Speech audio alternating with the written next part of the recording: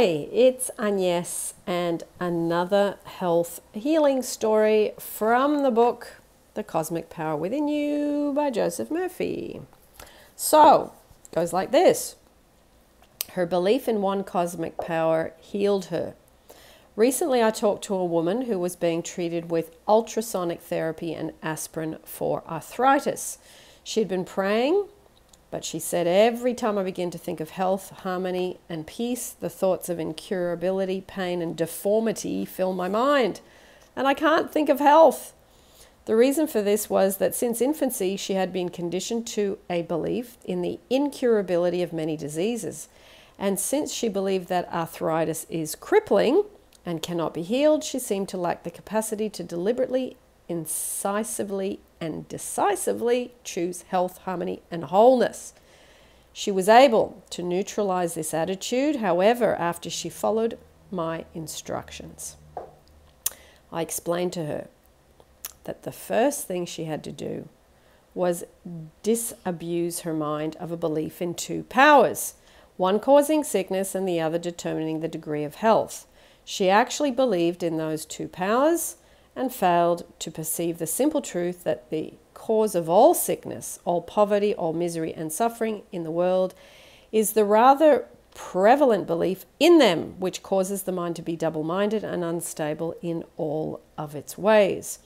She decided to go back on the beam, so to speak, and bringing her mental field of vision into focus, she affirmed boldly I believe once and for all that there is but one cosmic power, which is all wholeness, beauty, and perfection.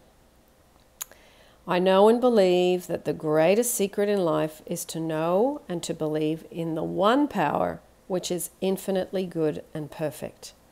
I consciously claim that the healing love of this power which created me is now dissolving any deposits in my body which do not belong there.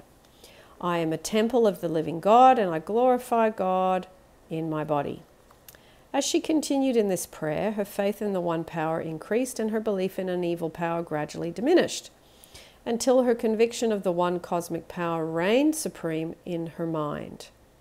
She continued with the ultrasonic therapy, and gradually her limbs became more subtle. No, not subtle, supple.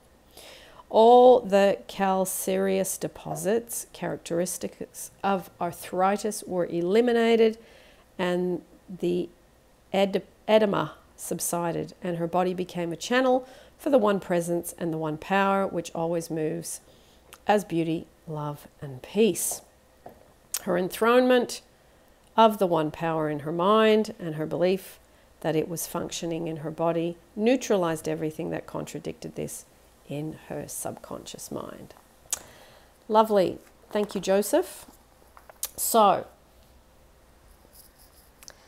if you again have something that is not working well within your bodily condition, the little treatments, as Joseph Murphy would call them, the little prayer written down, affirmed, read twice a day, three times a day, whatever time you have, at least twice a day, morning and night, to neutralize what's going on in the mind, to therefore then the mind will have a different impact on the bodily condition.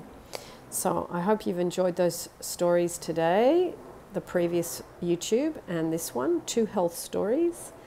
And I again will put the health playlist down below for those of you that want a bit more information or a bit more learning on that subject. And that's it for today. Lots of love, and I'll see you in the next YouTube.